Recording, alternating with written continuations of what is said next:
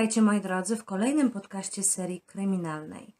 Dzisiejsza sprawa dotyczy seryjnego mordercy, którego fetysz naradza się jeszcze w dzieciństwie, a w zasadzie wtedy, kiedy znajduje parę damskich szpilek, jego matka postanawia srogo go ukarać za to, że owe szpilki przyniósł do domu i je przymierzył. To zdarzenie z czasem sprowadza go na morderczą drogę. Jestem bardzo ciekawa, czy wiecie o kim mowa, ale zanim zaczniemy, chciałabym Wam bardzo podziękować za komentarze pod ostatnim podcastem i już niebawem nagram wytypowaną przez Was kobietę, która zabijała. No dobrze, zaczynamy. Jeszcze tylko na wstępie, jeśli Wam to będzie przeszkadzało, to przepraszam za odgłosy ćwierkania za moim oknem. Jest naprawdę tak gorąco, że nie da się nagrywać przy zamkniętych oknach, a wentylator z kolei nie może pracować, ponieważ zagłuszałby to, co mówię. No dobrze. Przenosimy się do Dakoty Południowej, a konkretnie miejscowości Webster 31 stycznia 1939 roku. To właśnie wtedy przychodzi na świat Jerome Henry Burdos, syn Henry'ego i Eileen.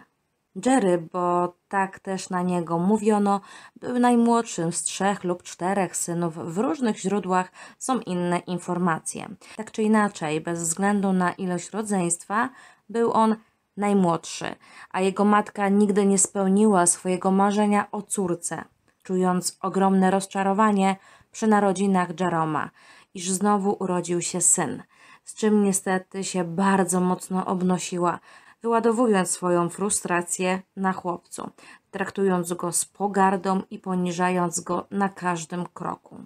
Szczerze mówiąc, nie potrafię zrozumieć, jak można tak traktować własne dziecko, i mam wrażenie, że po raz kolejny widzimy, jak destrukcyjny wpływ może mieć matka w procesie kształtowania się psychiki młodego mężczyzny, dając w przyszłości tragiczne skutki. Matka chłopaka zaczęła coraz częściej go dyscyplinować, a w jej umyśle zaczęła narastać obsesja dotycząca grzechów, związanych przede wszystkim z seksualnością i wyłozdaniem. Tak jak wspomniałam na samym wstępie podcastu, gdy chłopiec był mały, a konkretnie miał 5 lat, znalazł damskie szpilki. Ponoć znalazł je w śmietniku u sąsiadów. Buty na tyle zafascynowały chłopca, że postanowił je zabrać ze sobą do domu i się nimi pobawić. Podczas zabawy postanowił je przymierzyć i właśnie wtedy zostaje nakryty przez swoją matkę, która jak możecie się domyśleć reaguje bardzo agresywnie, krzycząc na chłopca i wymierzając mu karę cielesną.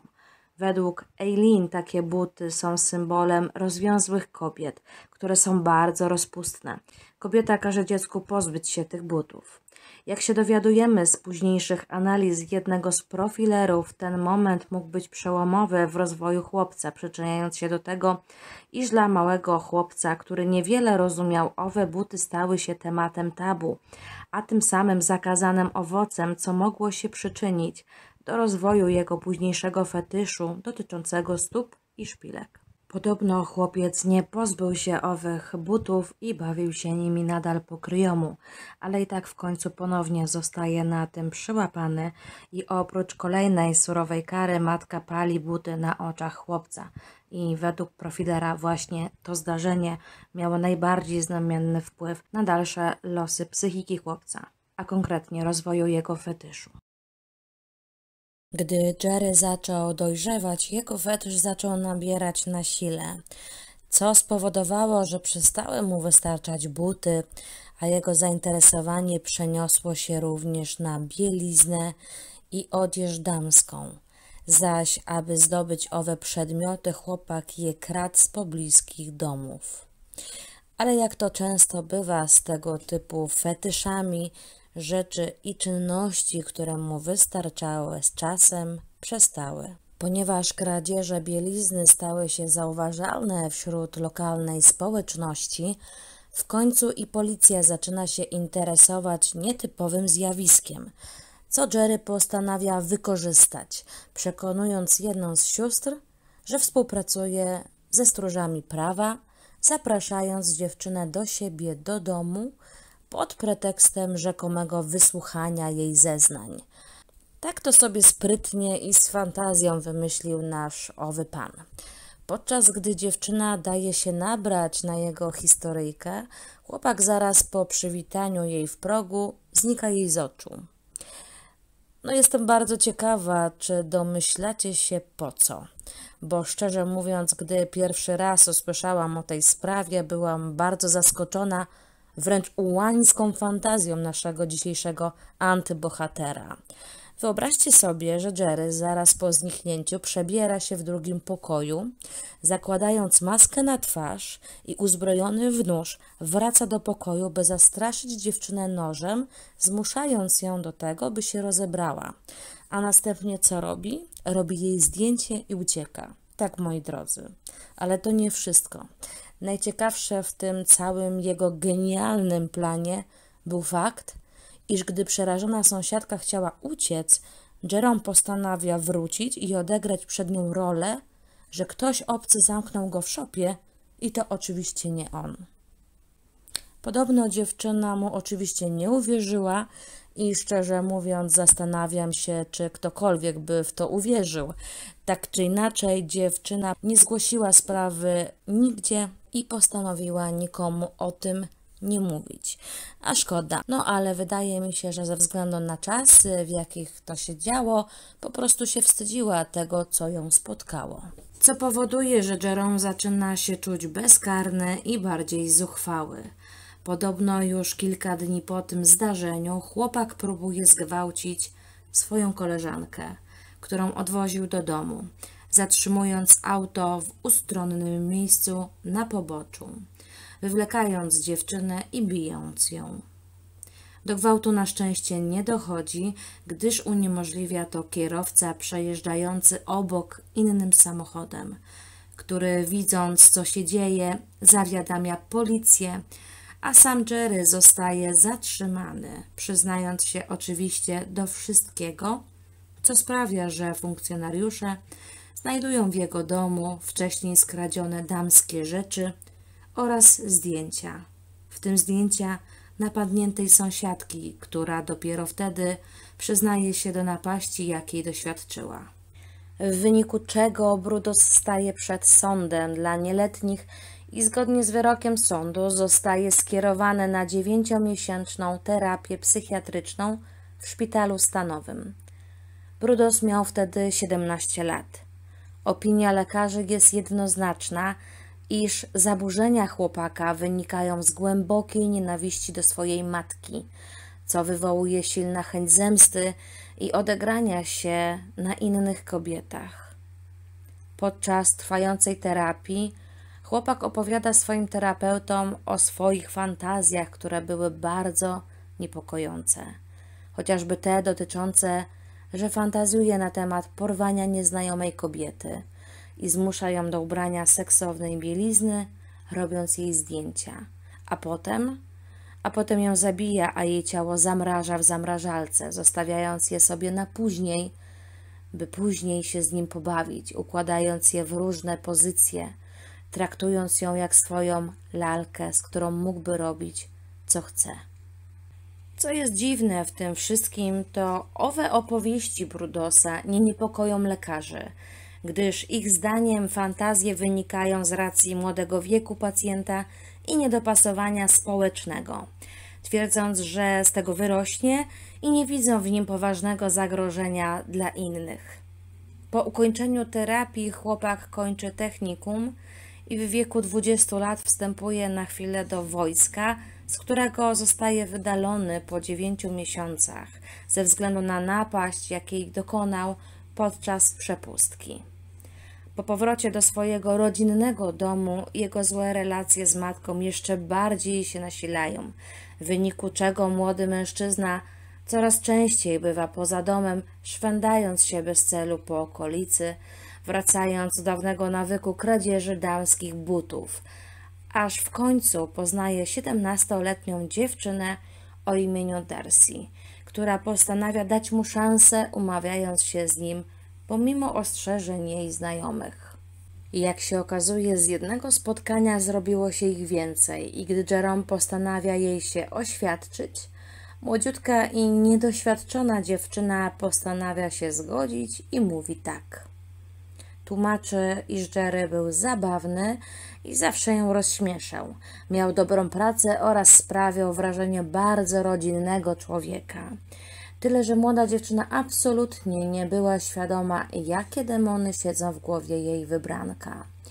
Choć można by mieć nadzieję, że ślub z dziewczyną zmieni jego podejście, to niestety tak nie jest, a nawet urodzenie mu dziecka tego nie zmienia. Wręcz jego fetysze zaczynają coraz bardziej eskalować. Mężczyzna zaczyna wymagać od swojej młodziutkiej żony, aby ta swoje obowiązki zaczęła wykonywać, będąc całkowicie nago i mając na sobie jedynie szpilki, robiąc jej wtedy mnóstwo zdjęć. Młoda dziewczyna godzi się na wszystko. Wychowując ją sobie, doprowadził do jej całkowitego posłuszeństwa, do tego stopnia, że kobieta nie wnikała, gdy ten nie wracał na noc, nie pytając, gdzie był i co robił, a witając go po prostu śniadaniem.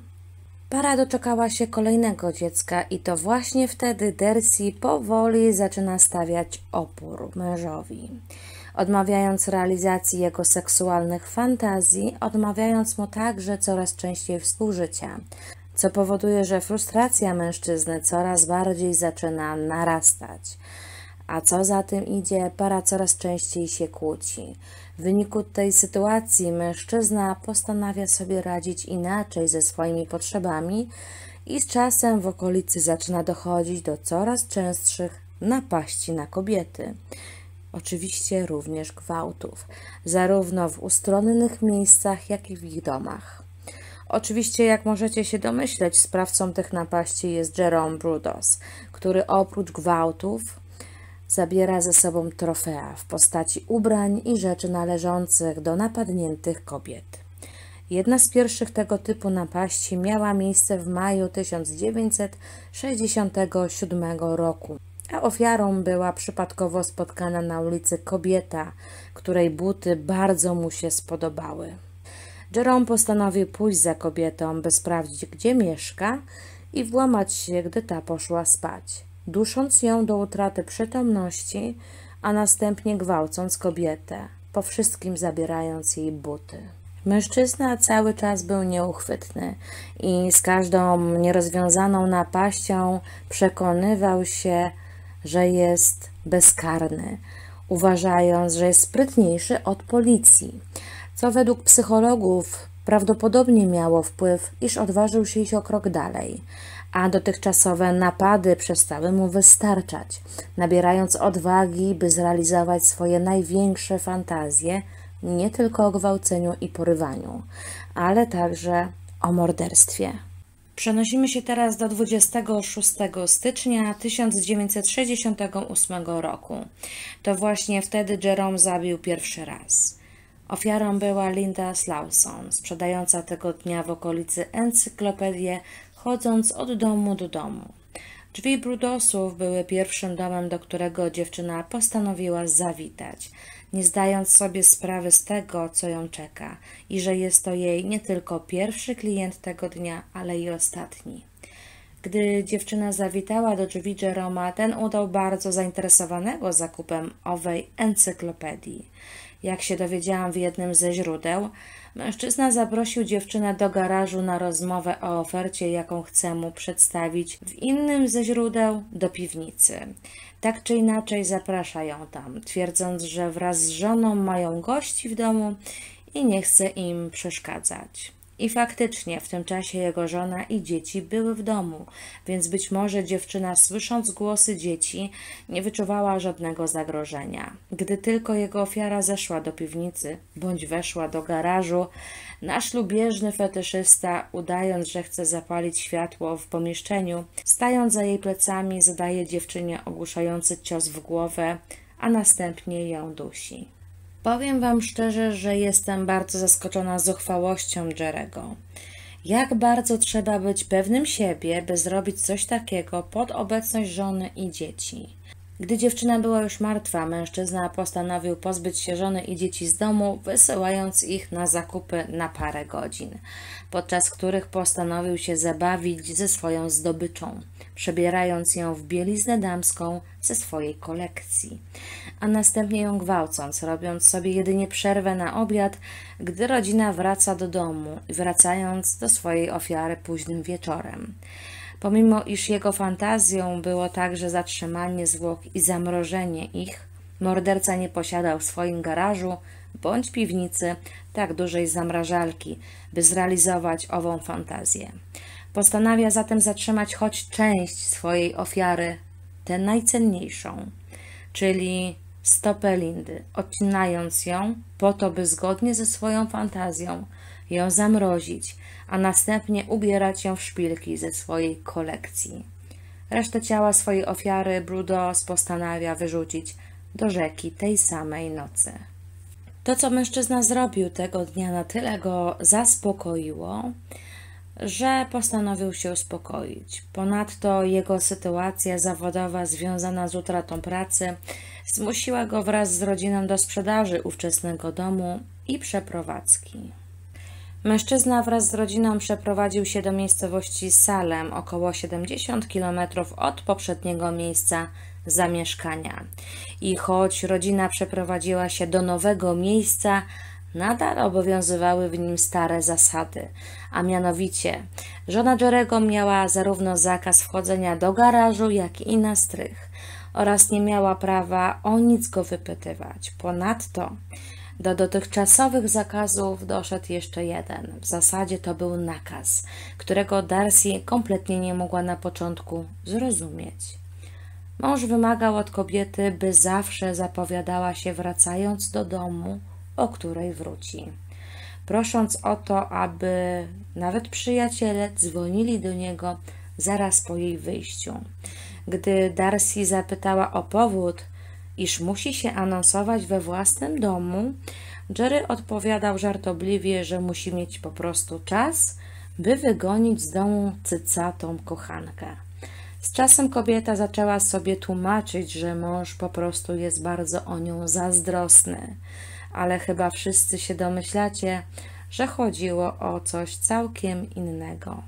Tak naprawdę mężczyzna podczas nieobecności żony chciał mieć swobodę, by móc przebierać się w damską bieliznę, wkładając damskie szpilki, rozkładając dookoła siebie własnoręcznie wywołane zdjęcia, które zrobił zamordowanej dziewczynie, bawiąc się do tego jej zamrożoną stopą, ubierając ją oczywiście w damskie szpilki.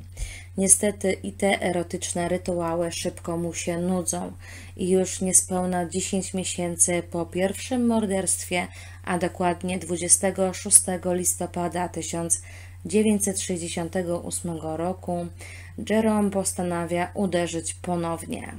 Jego kolejną ofiarą jest Jen Whitney, 23-letnia dziewczyna, której zepsuło się auto. Brudos, widząc samotną dziewczynę na poboczu, postanawia się zatrzymać pod pozorem udzielenia jej pomocy. W jednym ze źródeł dowiadujemy się, że mężczyzna zapewnia ją, że naprawi auto, ale musi pojechać po niezbędne do tego narzędzia. W innym zaś, że podwiezie ją do siebie do domu, by zadzwoniła po pomoc i do rodziny. Podobno dziewczyna nie wsiadła do auta sama, bo wraz z nią prosili o podwózkę przypadkowi autostopowicze, których również Jerome zabrał, ale wysadził ich wcześniej. Najwyraźniej Jerry nie wzbudzał poczucia, iż może zrobić komukolwiek krzywdę. Niestety to było bardzo mylne przekonanie, gdyż Jerome dusi kobietę w swoim aucie. A najbardziej szokujące jest to, że robi to na podjeździe własnego domu. Szok ale zaraz szok będzie jeszcze większy. Martwe ciało kobiety z samochodu Brudosa trafia do jego garażu, gdzie następnie oprawca je gwałci i wiesza je na wcześniej przygotowanym haku przymocowanym do sufitu, czekającym na jego drugą ofiarę. Jeszcze raz powtórzę: szok. Przez dwa kolejne dni mężczyzna przebiera zwłoki w seksowną bieliznę i oczywiście fotografuje. Tym razem także postanawia zatrzymać sobie część ciała kobiety, ale już nie stopę. Odcina jej pierś, robiąc sobie z niej odlew. Morderca tak bardzo czuje się bezkarny, iż postanawia zostawić wiszące zwłoki dziewczyny w garażu na kolejne kilka dni, samemu w tym czasie wyjeżdżając na weekendowy rodzinny wypad. Teraz słuchajcie uważnie, bo to jest niebywałe. W czasie, gdy Brudos był na wcześniej wspomnianym wyjeździe, dochodzi do wypadku pod jego domem, w wyniku którego jedno z aut wpada w drzwi garażu Brudosa, powodując niewielki wyłom. I choć w wyniku tego zdarzenia na miejscu była policja, szczelina, przez którą można było zajrzeć do środka, była tak niewielka, iż funkcjonariusze nie zauważyli wiszących tam zwłok. Czujecie akcję? Ponoć nawet nie wyczuli woni martwej osoby. Szczerze mówiąc, sytuacja jest dla mnie bardzo, ale to bardzo dziwna.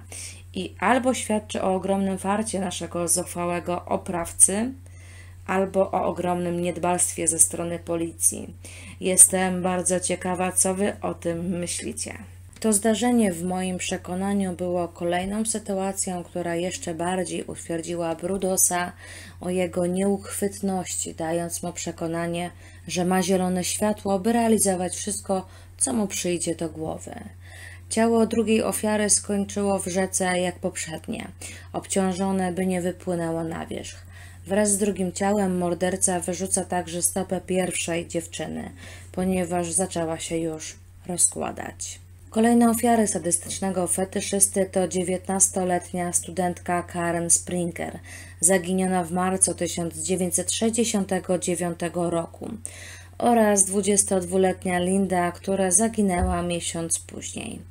Jeśli chodzi o Karen, zauważono jej zaginięcie, gdy ta nie dojechała na spotkanie ze swoją mamą, a jej samochód znaleziono zaparkowany przy pobliskim centrum handlowym bez śladu po dziewczynie, jakby rozpłynęła się w powietrzu, zupełnie jak poprzednie ofiary Brudosa. Jak wykazywały późniejsze przesłuchania ludzi z okolicznych sklepów, wielu z nich zeznało, że widzieli tego dnia w okolicy bardzo dziwną, wysoką kobietę. Wśród tych świadków znalazł się jeden twierdzący, że przyjrzał się podejrzanej kobiecie i według niego był to mężczyzna przebrany za kobietę.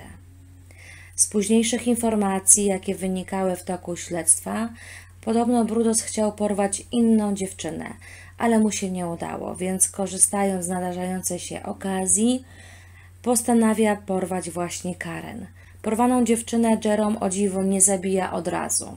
Tym razem zastraszoną dziewczynę zabiera do swojego domu i każe jej się przebierać w bieliznę ze swojej kolekcji, no i oczywiście szpilki, robiąc jej zdjęcia.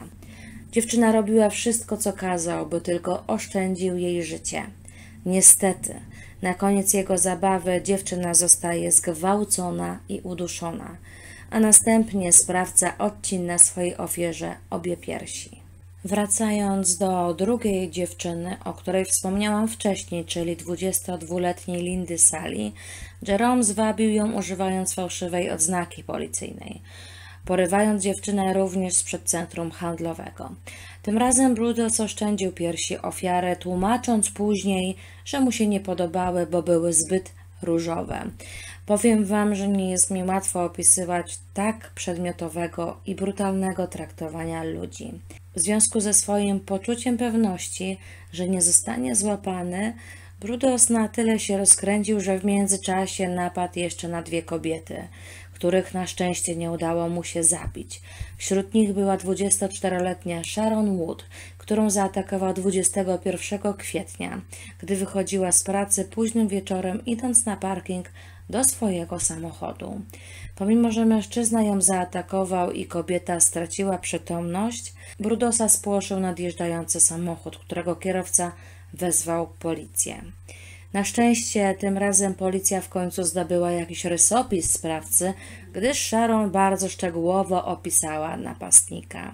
Brudos był na tyle rozgoryczony nieudanym napadem, że już następnego dnia próbował ponownie porwać kolejną dziewczynę, grożąc 15-letniej Glorii bronią, ale i tym razem nic nie idzie zgodnie z jego planem, gdyż nastolatka wyrywa się porywaczowi, wykorzystując fakt, iż prowadząc dziewczynę do swojego auta, napotykają oni kobietę pracującą w swoim przydomowym ogródku. Grolia także zapamiętuje wygląd napastnika, a jej rysopis pokrywa się z opisem mężczyzny, który napadł dzień wcześniej na Sharon Wood. Zdaje się, że dobra pasa Brudosa w końcu się skończyła, a policja zaczyna mieć jakiś trop. Choć w tamtych czasach nie było takich narzędzi policyjnych jak dziś, a pojęcie seryjnych morderców było raczej nowością, to śledczy, w tym detektyw Jim Stowell, powoli zaczęli łączyć ze sobą kropki, biorąc pod uwagę zeznania kobiet i podobieństwo pozostałych zaginięć innych dziewczyn. Kolejnym przełomem w sprawie było znalezienie przez pewnego mężczyznę zwłok Lindy Sally podczas wędkowania na rzece Longton. Ciało znaleziono w maju. Było przywiązane węzłem używanym przez elektryków, co jest również wskazówką prowadzącą do Brudosa, gdyż ten skończył szkołę, po której został właśnie elektrykiem, o czym wcześniej Wam nie wspomniałam. Już kilka dni później po znalezieniu zwłok Lindy zostają znalezione także zwłoki 19-letniej Karen, obciążona głowicą silnika, przymocowaną takim samym węzłem, jak w przypadku wcześniej wspomnianej Lindy. Gdy policja w końcu miała więcej motywacji, by znaleźć sprawcę tych napadów, postanowiono przesłuchać studentki Uniwersytetu Stanu Oregon, prawdopodobnie ze względu na to, że Karen była właśnie studentką tego uniwersytetu. Jak się okazało, część studentek zeznało, iż doświadczyło telefonów od jakiegoś nieznajomego mężczyzny, który podawał się za weterana z Wietnamu, szukającego dziewczyny chętnej pójść z nim na randkę. Choć wydawałoby się, że nikt na to nie pójdzie, znalazła się jedna z dziewczyn, która zdecydowała się spotkać z owym mężczyzną.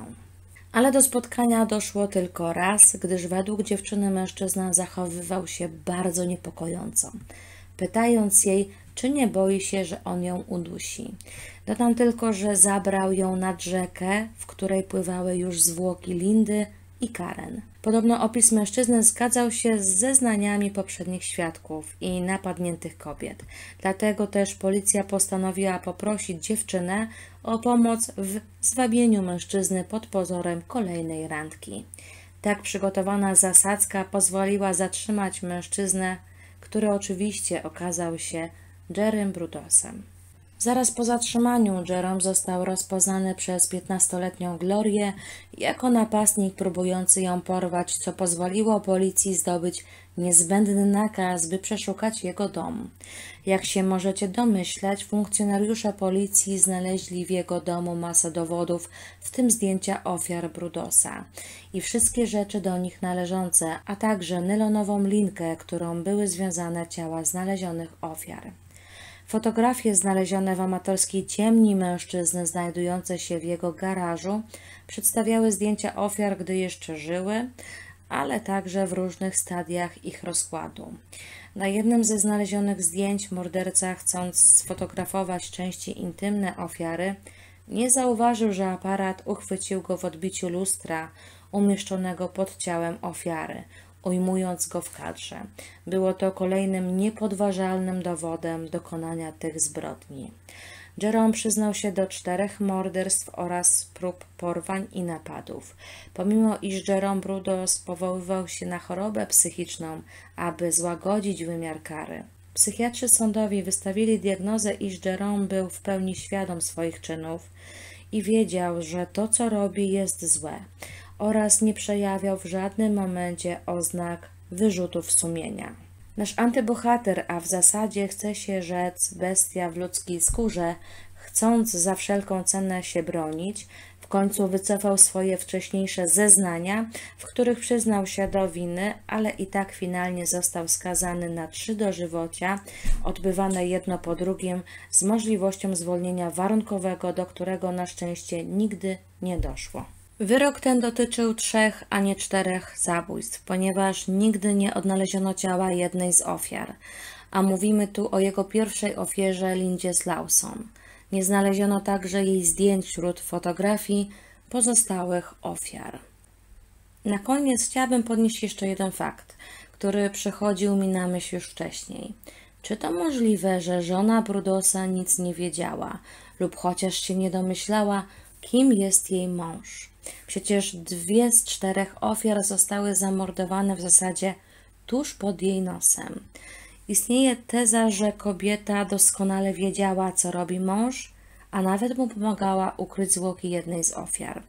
Takie podejrzenie pojawiło się po zeznaniach jednej z sąsiadek małżeństwa, które potem jednak zostały podważone.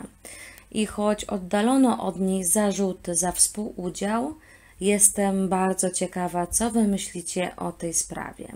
Finalnie kobieta rozwiodła się z mężem w 1970 roku, zmieniając swoje imię i nazwisko i zmieniając miejsce zamieszkania. Z późniejszych losów morderczego fetyszysty Szpilek wiadomo, iż odbywając swoją karę był wielokrotnie ofiarą przemocy, w tym również przemocy seksualnej, doświadczając gwałtu przez współosadzonych. W swojej celi zaś posiadał pełno wycinków z gazet i katalogów z damskim obuwiem, które podobno miało mu zastępować pornografię. Zmarł w wieku 67 lat na raka wątroby w 2006 roku, w sumie odsiadując 37 lat swojej kary. Myślę, że powoli dopłynęliśmy do brzegu tej kryminalnej historii. Bardzo dziękuję za odwiedziny na moim kanale i jeśli wysłuchaliście tej historii do końca, proszę Was o wpisanie w komentarzu słowa szpilki. No i tradycyjnie, jeśli zasłużyłam, nie pogniewam się za kciuka w górę oraz subskrypcję jeśli tego jeszcze nie zrobiliście. Pozdrawiam Was bardzo serdecznie, życząc Wam miłego dnia lub wieczoru, w zależności od tego, kiedy mnie słuchacie. Wasza Pani.